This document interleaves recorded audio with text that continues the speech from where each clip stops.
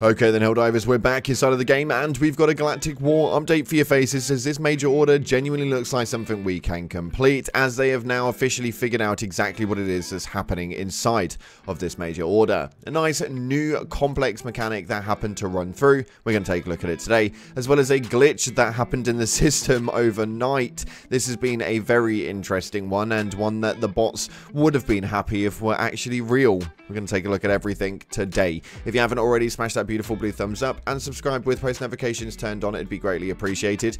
And check out our sponsor, Instant Gaming, the platform where you can buy your video games cheaper for PC and consoles with the best deals, offers, promotions, and discounts.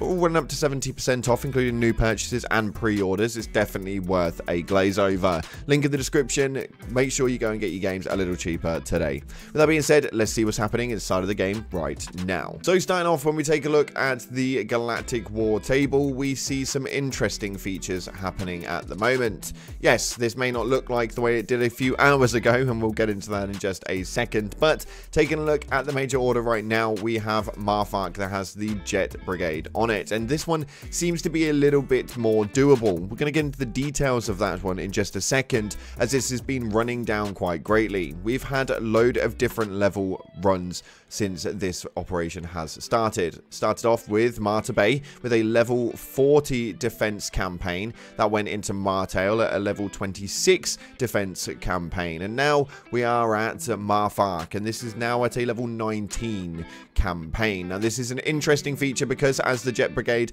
have been defeated repeatedly and people have been fighting over these two planets, we have been depleting the Jet Brigade overall, meaning that we are looking at a decent factor of this being completed today, and if not, and we don't manage to take Marfark, we should eventually take the next planet, which is probably looking to be this right here, Aesir Pass, or maybe even running a little bit further to the northern region of Menkent, but we'll see exactly where it is that they place this afterwards. It's going to be an interesting feature, but again, we'll see exactly what's happening. As of right now, you can see right here on the companion app that we need around 14,000 Helldivers to be running inside of this. And with 20,000 Helldivers currently playing inside of the game, all we need is a couple thousand more to actually run inside of Marfark to be able to do the damage that we need to complete this major order from the one attack from the automatons. The Jet Brigade seem to be a powerful feature, and although they are not powerful to go against one-on-one, -on -one, they have been definitely causing havoc across the galaxy. Fingers crossed we managed to get this one completed today. Make sure you stay tuned for tomorrow's update to see whether it is that we've defeated it or not and what the major order is looking like at that stage. But for right now, it's all forces over to Marfark to see if we can get this one completed and move forward with the DSS construction campaign. Let's see what it is that it brings to the table. But a massive bug that happened overnight. This one is a very, very weird one and we saw it all over our Discord. The link is down in the description if you guys want to join up. 10,000 of you guys currently in there, which is amazing. But this bug right here was, well, impossible to say the least. We all thought that they were expanding that quickly and that it was going to be an absolute nightmare. But it turns out that the system may have just caused a bit of a back dump and had just caused an issue absolutely everywhere.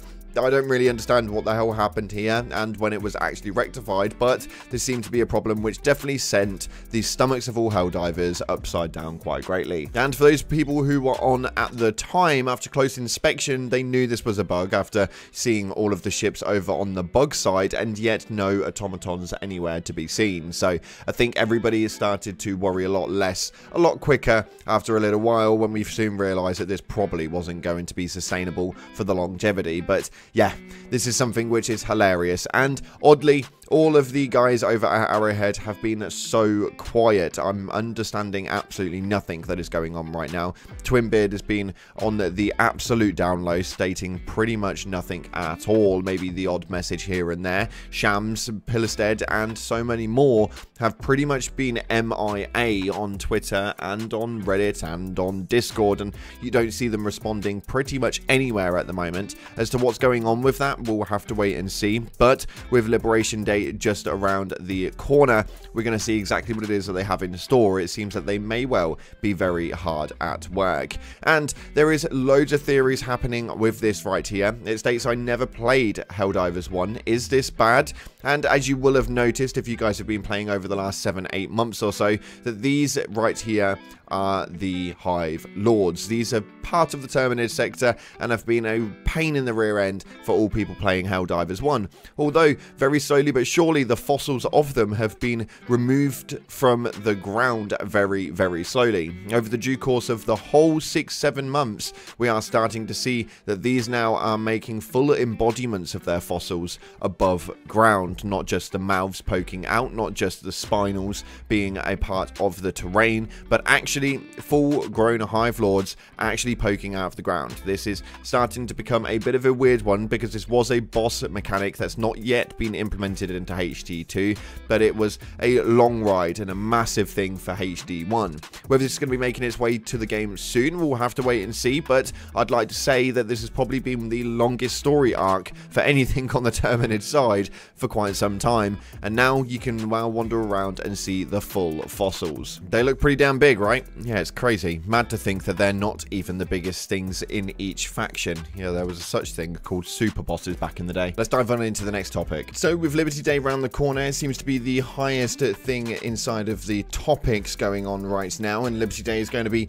probably one of the most celebrated days of the year for all Helldivers round. On October 26th, we are going to see it go live, and this is going to be such an insane event, mainly because we haven't really had any events inside of the game right now. We're all speculating what it is that's going to happen, so let me know in the comment section what you guys think is going to be coming on Liberty Day, as it seems with 4.1 thousand upvotes, a lot of you guys are getting excited for it. Not only that, but we're going to be doing a deal with GamerSupps. We're going to be offering you guys completely free shipping and free samples.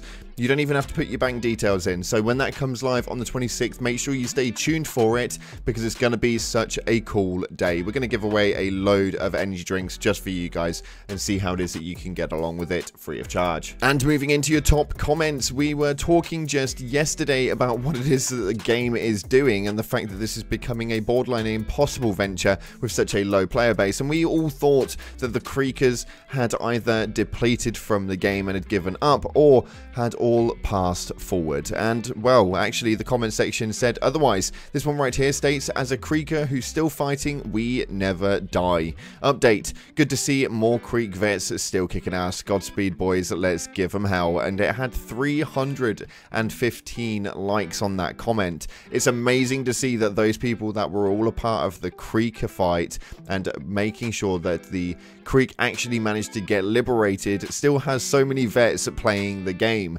The player base has depleted quite a lot, it's a honest truth and it's something that you would kind of expect when you see these style of games, but it's nice to know that the Creekers are still around kicking those veterans, we definitely appreciate you, and we hope that you can do something to get us another bloody cape, because my lord, that Creek one gets boring after a while.